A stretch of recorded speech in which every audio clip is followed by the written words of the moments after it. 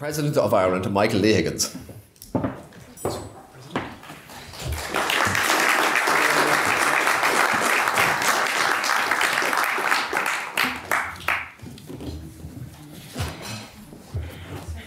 Hail se ó tron poblach na Portingéle a híisiig airí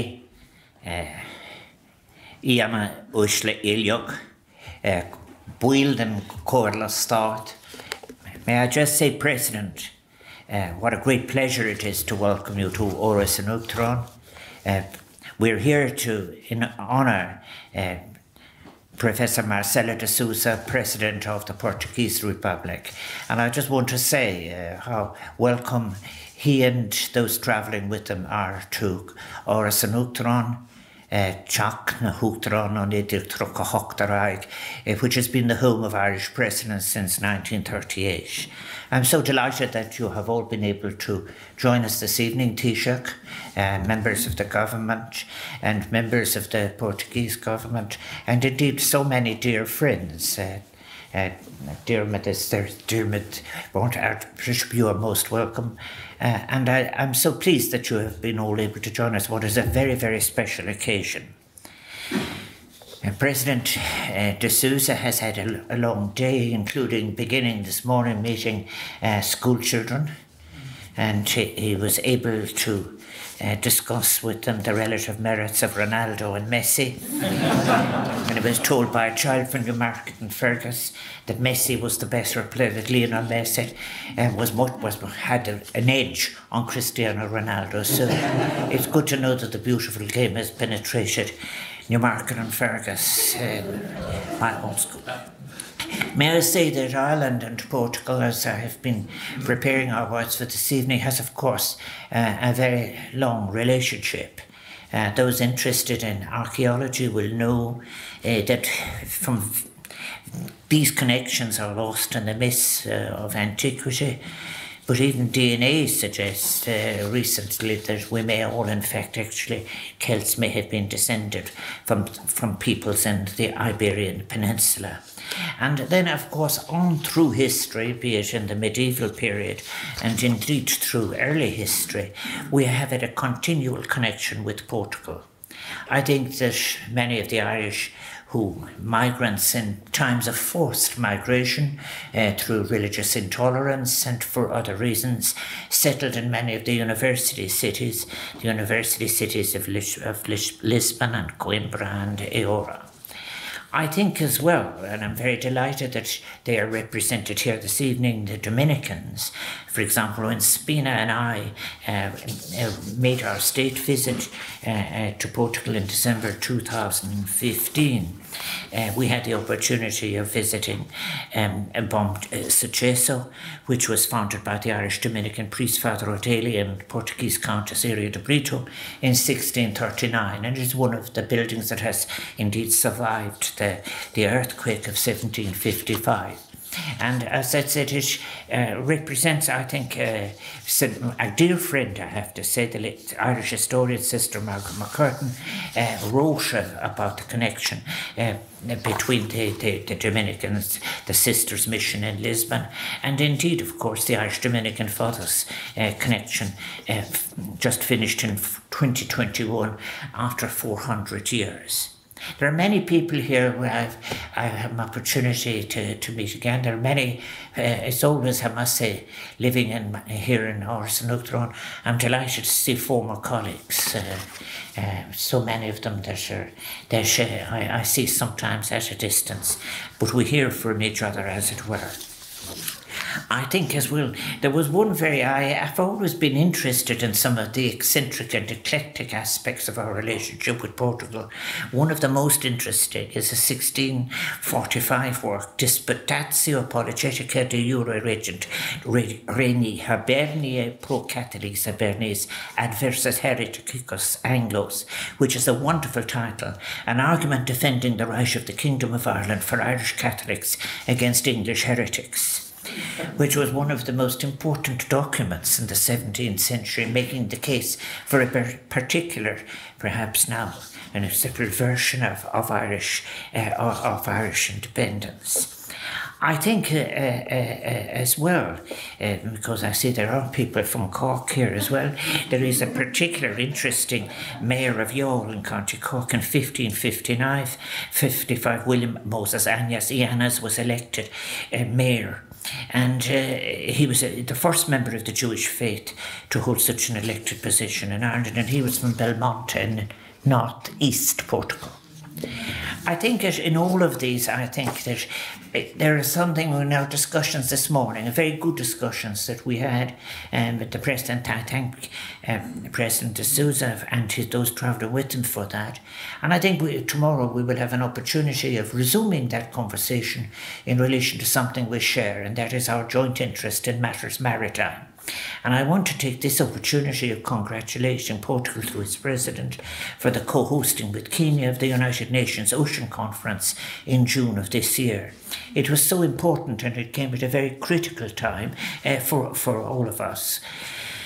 In the world, we had, in fact, we were dealing with the problems of the, of the pandemic, but most importantly, above all else, the oceans are what binds us, connects us, and what we share, and they're just so important. I think that's the end of the, uh, uh, the discussions in Lisbon led to a very important declaration. And I think I can only describe it as devastating the consequences of the failure at the level of the United Nations in New York not to achieve a binding agreement. And it is certainly my hope, and I know that it would be the hope of, of President de Sousa as well, that we will in fact resume the efforts with urgency uh, to try and move towards achieving a binding agreement on what is so important for all of our futures. But it, it is, I think, uh, as well, there are so many aspects of foreign policy, and I'm delighted the chairman of the Foreign Affairs and, and Committee is here, Charlie Flanagan is here, uh, and there are so many things we share, as not just as EU members, but as people who share values in support of multilateralism, in support of a world that is able to deal with its, its challenges.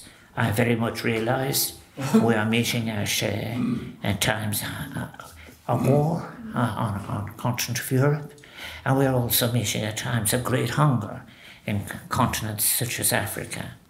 I do think that in relation to the values that we share, they're ones of solidarity, inclusivity, equality, and I, I think uh, uh, it is with shock and horror that we continue to witness the consequences of the invasion that has been unleashed against Ukraine and its people by Russia. It's an action that is imperialist in motive, illegal action, and it contravenes international law, humanitarian law, and indeed the United Nations Charter itself. And I say it really the this is a dark time when a, a member of the a powerful member of the United Nations uh, represents such an action a, against its neighbour and the flagrant violations of the principles of the United Nations have maybe been tolerated for too long and by often by those with the greatest power.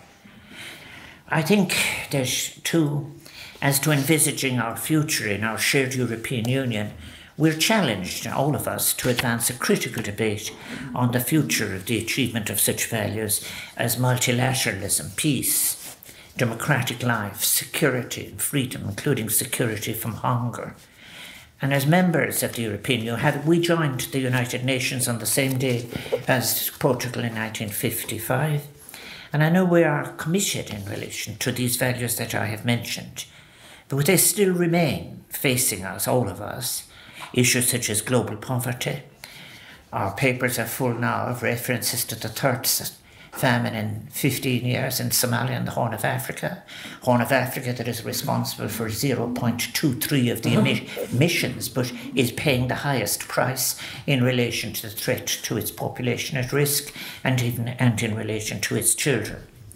We are challenged, and I think it is at the United Nations and Ireland's efforts, at the Security Council and Portugal's efforts, in many cases, we cannot go on without tackling what are the underlying structural uh, reasons that are standing behind these repeated famines, including, too, for example, the the monopoly monopolistic tendencies in production and distribution of food, but more than that as well, the failure to recognise that in those countries, there are 29 countries on the continent of Africa that are about to head over the precipice of debt I regularly mention the figures now of their meagre exports, 16% are spent on, uh, on, debt, on, on debt payments. About 6% on average are spent on public health.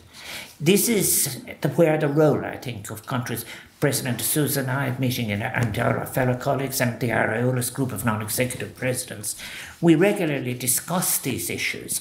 Is that we need to reach a new place where we can, in fact, revise our institutions to make them effective in addressing these issues of global poverty, unfair trade, those issues which are affecting displacement and which are driving, if you like, unchosen migration.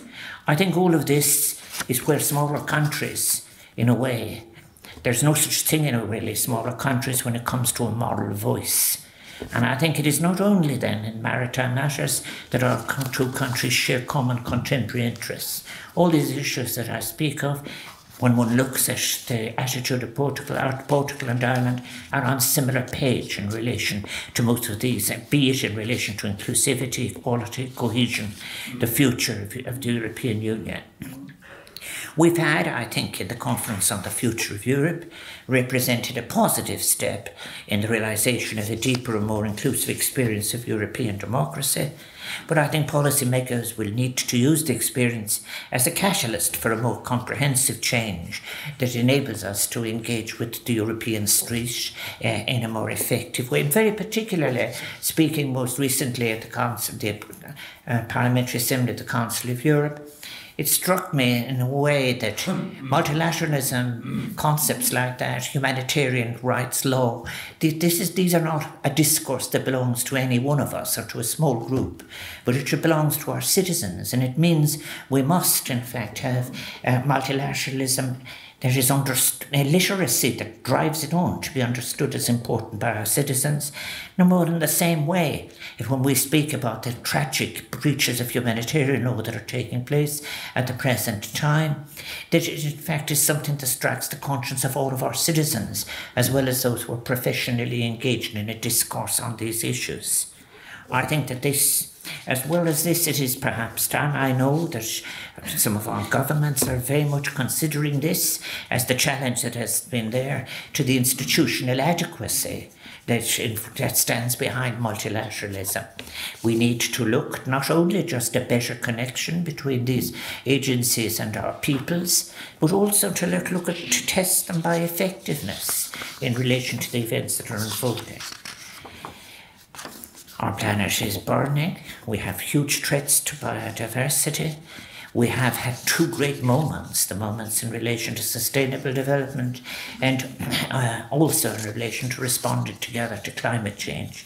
It is incredibly important that we not lose the energy that was released intergenerationally across the peoples of the world in relation to great projects like these.